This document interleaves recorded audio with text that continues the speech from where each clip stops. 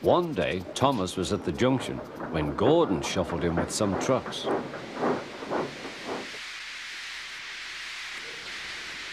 Phew, remarked Thomas. What a funny smell.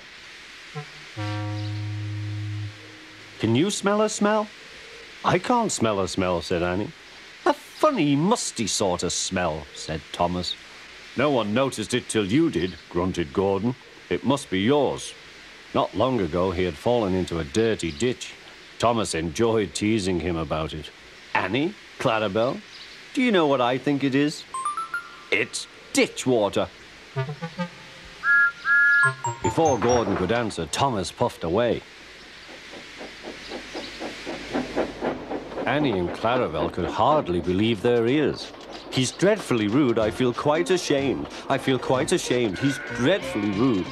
And to Thomas, they said, You mustn't be rude. You make us ashamed. But Thomas didn't care a bit.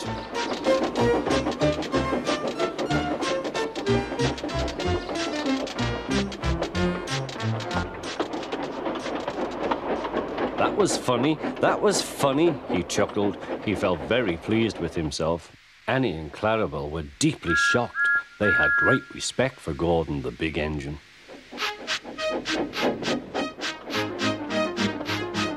Thomas left the coaches at the station and went off to a mine for some trucks.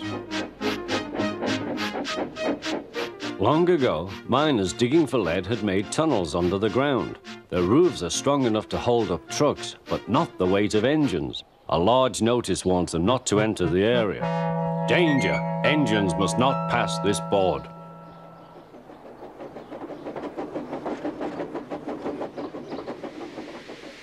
Silly old board, thought Thomas. He had often tried to pass it, but had never succeeded. But this morning he had made a plan. The fireman went to turn the points. Now for my plan, thought Thomas. Pumping the trucks fiercely, he jerked his driver off the footplate and followed them into the siding. Come back, yelled his driver. Fire and smoke, said Thomas. I am sunk. And he was. Oh dear, he said, I am a silly engine. And a very naughty one, too. I saw you, said the fat controller. Please get me out. I won't be naughty again. I'm not sure. We can't lift you out with a crane. The ground's not firm enough. Hmm, let me see. I wonder if Gordon could pull you out. Yes, sir, said Thomas. But he didn't want to meet Gordon just yet. Down a mine, is he? Ha ha ha, laughed Gordon. What a joke!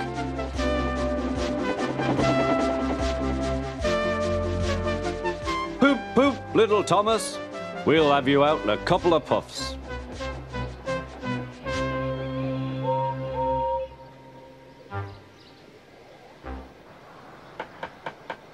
Strong cables were fastened between the two engines. Are you ready? Heave!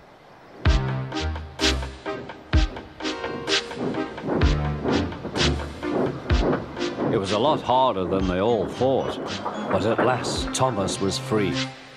I'm sorry I was cheeky, said Thomas. That's all right, Thomas. You made me laugh, replied Gordon. I'm in disgrace. So am I, said Thomas. Why, so you are, Thomas. Shall we form an alliance? You help me, and I'll help you. Right you are, agreed Thomas. Good, that's settled, rumbled Gordon. And buffer to buffer, the Allies puffed home.